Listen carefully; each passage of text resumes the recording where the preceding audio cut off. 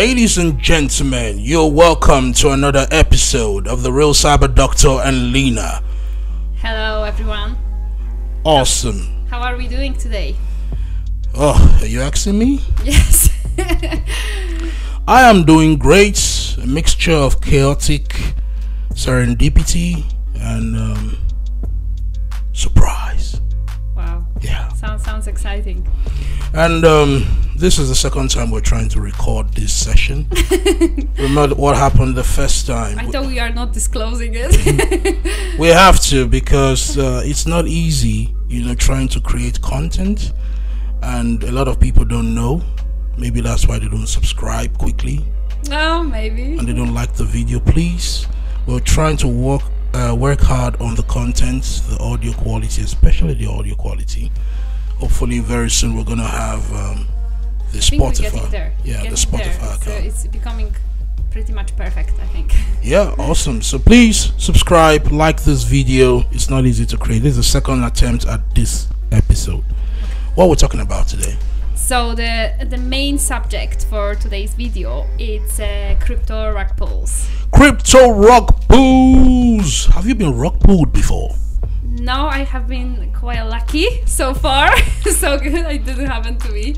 Okay. Um, I was quite careful, I think, with all the projects and tokens um, I, I invested. So, no, no, it didn't happen to me personally. How about you?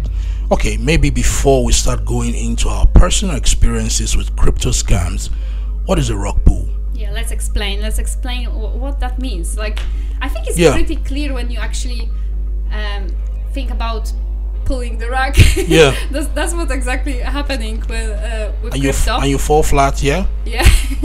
so um, the rug pull um, is when the developers of the project Yeah. um, they attracting all the investors, they promoting their uh, their new token, their new project, and um, just just to Yeah. um, pull out just before the project launch and take all the money and run. I'll run away. Yeah. So um, yes, it's, I think it's one of the most common scams uh, in the crypto world, isn't Yeah. it? Especially DeFi. So before you talk about rug pull, you want to understand what decentralized finance is all about. So this is a new concept, fairly new. Uh, I think it gained popularity in the last two years, where the blockchain has allowed people to create financial institutions, decentralized, distributed financial institutions that allows people to create projects. You know, different kind of projects. We have over 100 blockchains in the world now. Wow. And out of those 100 blockchains, we have over hundreds of thousands, at least over a hundred thousand cryptocurrencies or tokens, you know, created.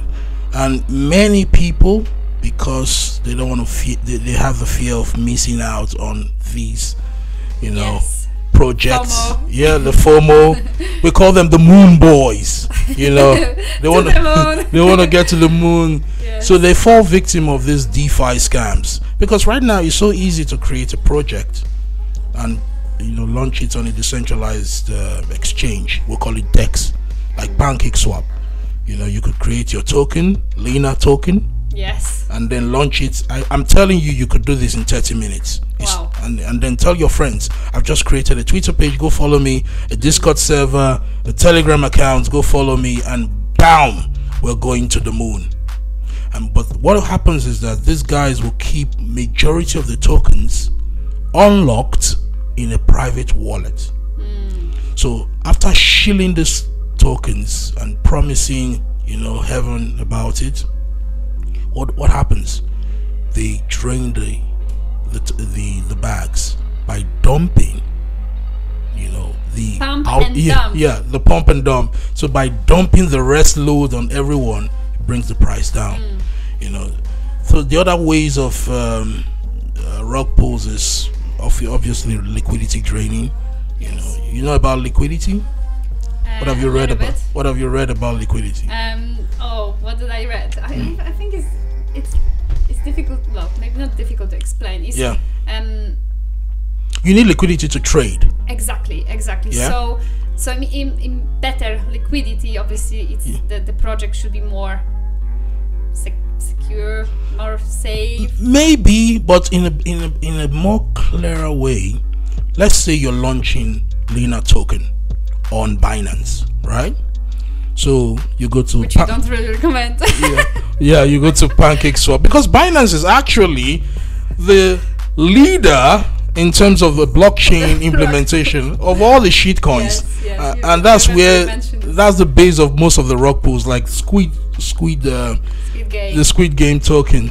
So you go there and you create a pair, you, because you have to put some level of BNB to match Lina token, right? So the initial liquidity you add to the system to the pool creates the price of the token.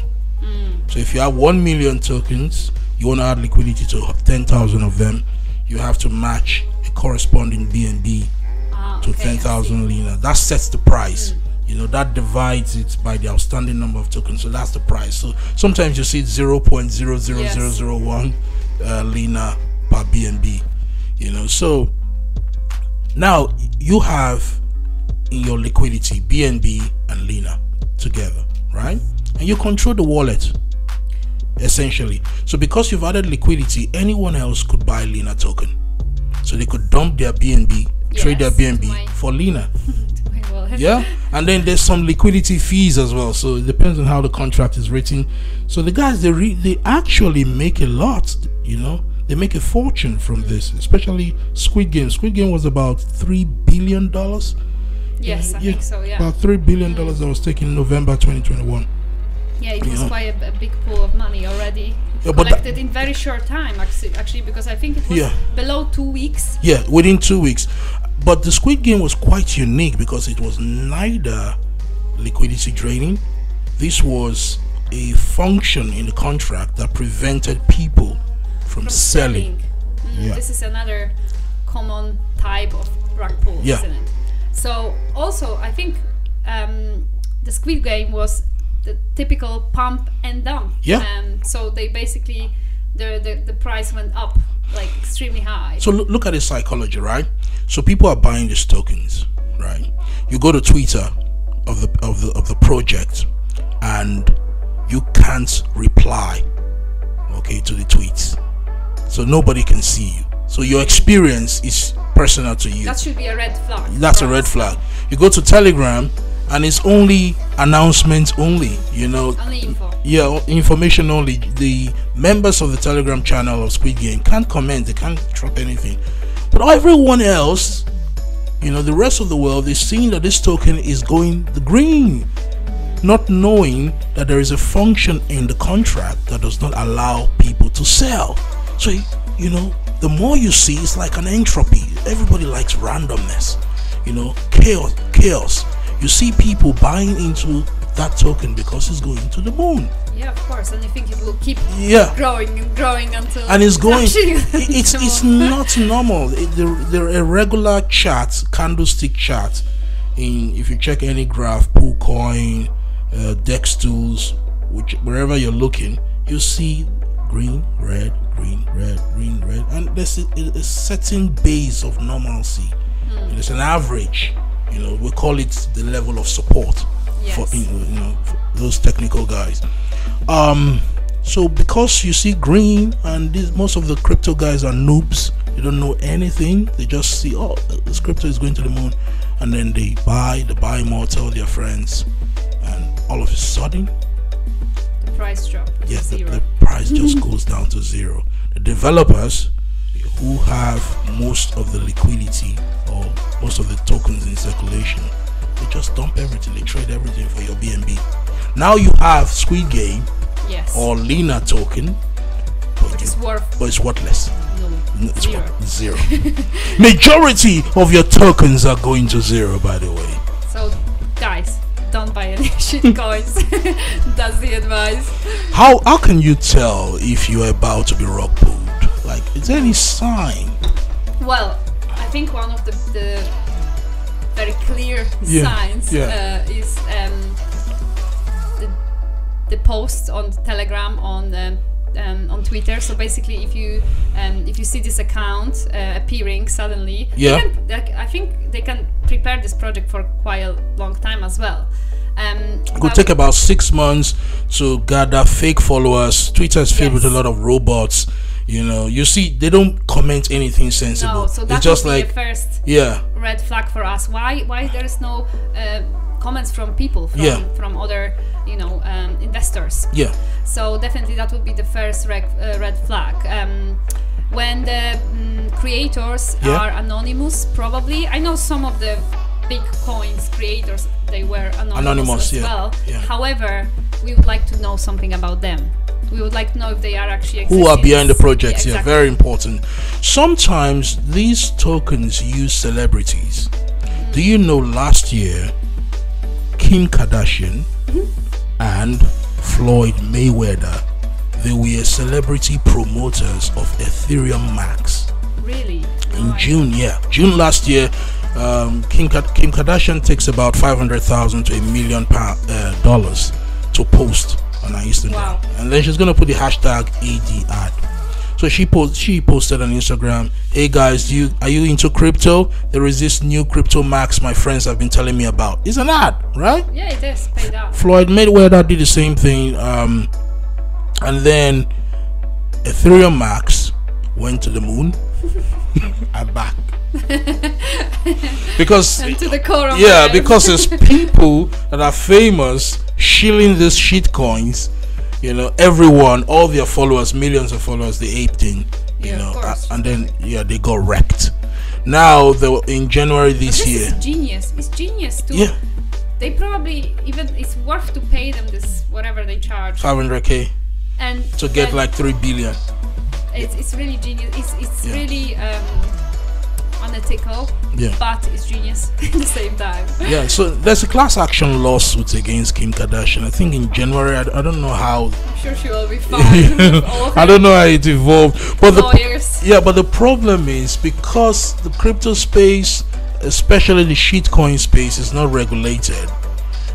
You can't really do anything legally. Mm. They can get away with it. I, I I was told to promote it. It's like any other Yeah, product and business. I didn't know what's that. I don't have it. Exactly. I didn't take Well, a- she probably maybe didn't even own it. you know? Yeah, she doesn't care. She's a business person. Anyway, so now you know it doesn't matter who is involved in the project. Mm. So when you're talking about anonymous, yeah, sometimes it works, but it doesn't really matter. Some Yeah. in this crypto world, I noticed we have the worst of humanity. Some people disappear. Yeah. people. You know, back in the days of Quadriga CX, you know, we had the founder Oh, yes, yes. Of a crypto exchange yeah. running away, maybe, or maybe not following the right practice, and all of a sudden we heard that he, he was dead. Till today, you know, there's still controversy about it. Yeah, we, we heard a lot about Luna, you know, the Luna uh, Terra Luna project. There's so many um, scams, you know, that you will wonder is crypto actually worth it? Yes, it's a, because it's not Do we need regulation? regulated. Yes. Um, And uh, in what level? What level of regulation do we need? Do we need regulation on the infrastructure? Do we need regulation on the operations? Do we need regulation on on um, the, the technology, the innovation? Because to be honest, has regulation really saved the world? no. In No, total, it's not yeah, crime. yeah. In the, what the housing market is regulated, the stock market is um, regulated, and then pe- things still go to zero. Yeah. And I feel like you know the crypt- crypto world. It was one of the places where people actually could make some money uh, outside of the government's hands. Yeah. um, which wasn't such a bad thing as well. So I'm kind of not quite sure if you know if they start if the government gonna start to regulate governments Yeah. different countries gonna start to regulate Yeah. crypto if that's gonna be such a, a great thing. Um, I, we know already, like in China, the Yeah. government banned the crypto from using. So how we, how we doing for time? Let's ask our sound Um, engineer. Thirty seconds more, All right, God, that's that's guys. We have done this. This second episode. Please subscribe. Look forward to the, the, the third episode. We'll be talking about uh, crypto hacks and I feel bridges. like uh, maybe because I feel like we didn't exhaust the subject. Um, I, I feel like we could maybe talk about that in the next episode. Maybe Yeah. we could continue rug pulls. Yeah, Yeah. rug pulls part two. Thank you.